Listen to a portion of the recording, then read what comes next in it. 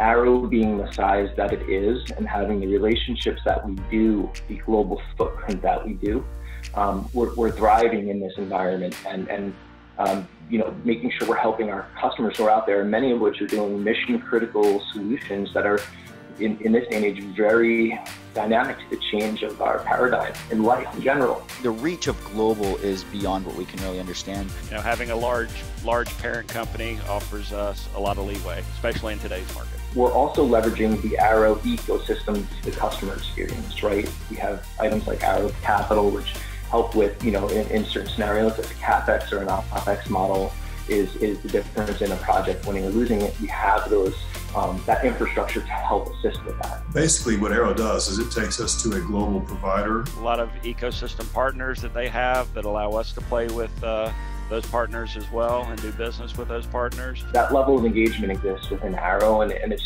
certainly enhanced our ability to engage these partners.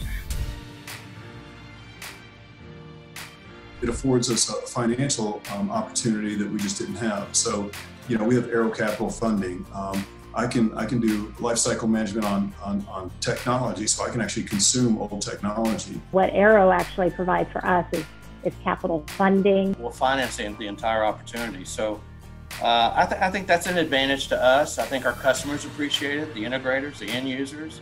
That's something we can use in our back pocket to uh, to get business like that. We have uh, Arrow Capital fin- financing if you need some financial assistance.